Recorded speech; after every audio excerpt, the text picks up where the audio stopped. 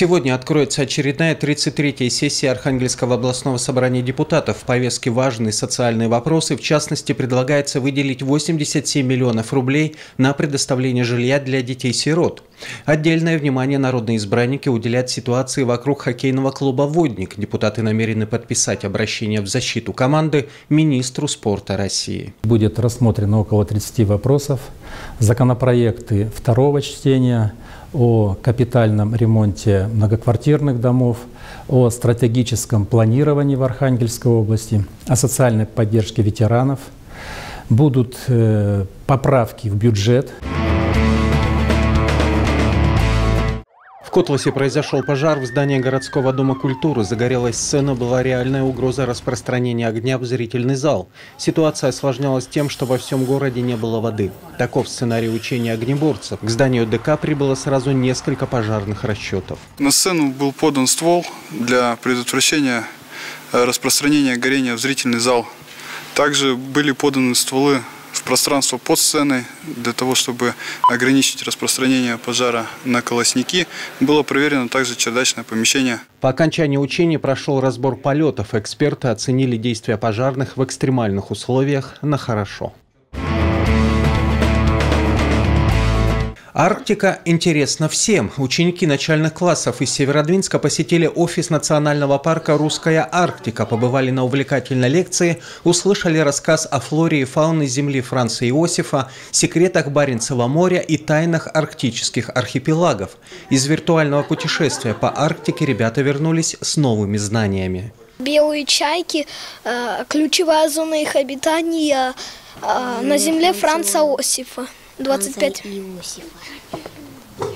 Захотелось побывать тебе в Арктике? В Арктике? Ну, если только летом. В Архангельск приходит «Европейская весна». 12-й международный музыкально-театральный фестиваль стартует сегодня в Центре «Патриот». Артисты Питерского театра покажут танго оперу «Мария де Буэнос-Айрес». В фестивале также примут участие музыкальные коллективы из Франции. Одним из главных событий станет спектакль известного режиссера Максима Диденко «Конармия». Наш каждый фестиваль – это совершенно отдельный проект, и каждый год они очень отличаются друг от друга – Например, в этом году у нас есть программа, в которой могут принять участие и дети. Это 19 апреля театр «Семенюки» со спектаклем «Семенюки Экспресс». Туда мы приглашаем всех родителей, детей, молодежь. Сегодня в Архангельской области официально начинаются 51-е Беломорские игры. Заявки на участие в них подали почти 700 спортсменов из 18 регионов страны. Программа соревнований включает 5 видов. Откроет игры спортивное ориентирование. Оно пройдет на территории лыжного стадиона в Малых Карелах. Первый старт будет дан 24 марта. Затем с 29 марта у нас стартуют э, лыжные гонки в Онежском районе. Э, с 30 марта на территории стадиона «Труд» в крытом ледовом корте у нас начинается мини-хоккей с мячом. И с 31 марта у нас начинается хоккей э, на ледовом комплексе «Беломорец» в Северодвинске. И фигурное катание – это на базе Дворца спорта профсоюзов.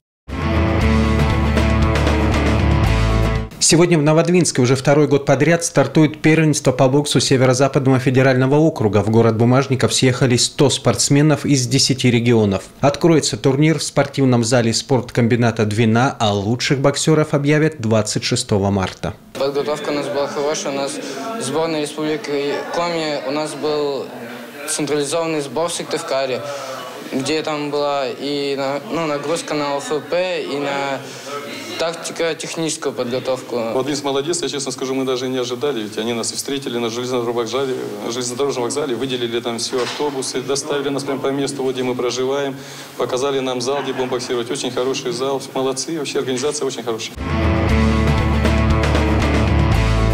Сегодня в Архангельске и по области облачно с прояснениями, небольшой мокрый снег, днем с дождем. Ветер южный, юго-восточный, слабый, днем умеренный. Температура от 3 до 5 градусов тепла. Тип погоды второй, благоприятный.